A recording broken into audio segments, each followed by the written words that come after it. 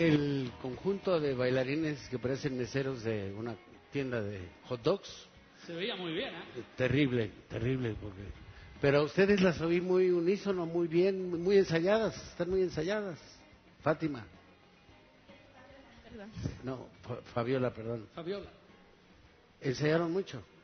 Estuvimos practicando bastante, la verdad que casi no tenemos tiempo porque recibimos otras clases, pero nos estuvimos ayudando mutuamente la una a la otra en los tiempos que teníamos libres. Yo las oigo muy unísono, muy bien, muy al mismo tiempo, muy en el mismo tono, muy al mismo volumen. Me falta un poquito de intención, pero la canción no da para más, así que... pues, dígame. ¿Qué pasado?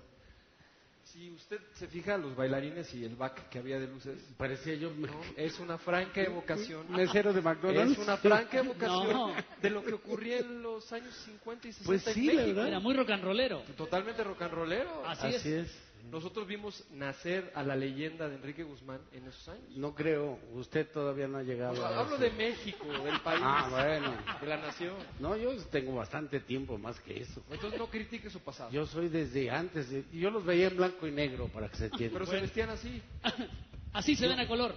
era, a Así- color así se ven a color, pero no los había visto yo. Don Raúl Quintanilla. Jovencita Fabiola, tiene usted 15 años. 16. 16 recién cumplidos. 16 años, es una hoy. enorme diferencia. A partir de hoy. Mire, jovencita, a mí no me gusta mucho decir esto, pero creo que tiene usted una gran posibilidad de poder seguir una carrera muy, pero con muchas posibilidades. Mire qué bien. A mí me da un poco de miedo siempre decir algo positivo porque ustedes todavía no son lo suficientemente inteligentes para entender lo que uno les quiere decir. Su poca edad le da la posibilidad de establecer un parámetro donde se coloque por fuera de la presión que están sintiendo otros. Eso la va a ayudar muchísimo. Ahora, su poca edad, su poca edad también puede, de alguna manera, interrumpir un proceso de aprendizaje continuo. Día con día aprenda cosas y sobre todo dése cuenta lo que está aprendiendo. Y sobre todo, con la corta edad debe usted aprender que uno tiene que crear una experiencia poco a poco. Espero que la siguiente ocasión encontremos elementos nuevos para poder entender que su capacidad verdaderamente vale la pena. Y yo le diría a sus maestros que fueran doblemente responsables con usted, porque creo que tiene muchas posibilidades. Excelente comentario. Con respecto a usted, jovencita, Cintia, una interpretación bastante limitada, una voz pequeña, gritando demasiado, hay demasiada fuerza. Yo le aconsejo que se dé cuenta que una gran virtud que debe tener un artista se llama la ligereza, que parece que pareciera que no está haciendo un gran esfuerzo y al mismo tiempo está trabajando al doble de energía y su potencialidad es mayor que la de un ser normal. Eso se llama ligereza. Está usted pegando unos gritotes intentando hacer con el grito lo que debe haber con el talento. Y de verdad, mire, lo que acabo de ver, el espectáculo que acabo de ver tercermundista de su relación de, no- de- Póngase a trabajar, jovencita. Le voy a decir una frase que viene del norte que dice, lo tonto, flojo y enamorado viene junto. Póngase a trabajar. El comentario del maestro Raúl Quintanilla. Lisette.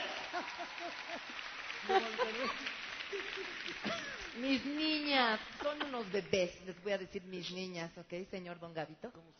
Mis niñas, Fabiola, eres un bebé, tienes una gran energía, tienes muchas ganas, me encanta tu color de voz, tienes un don que Dios te regaló, que tienes la obligación de desarrollar, no te desvíes del camino, que no te afecte nada externo, no te desvíes.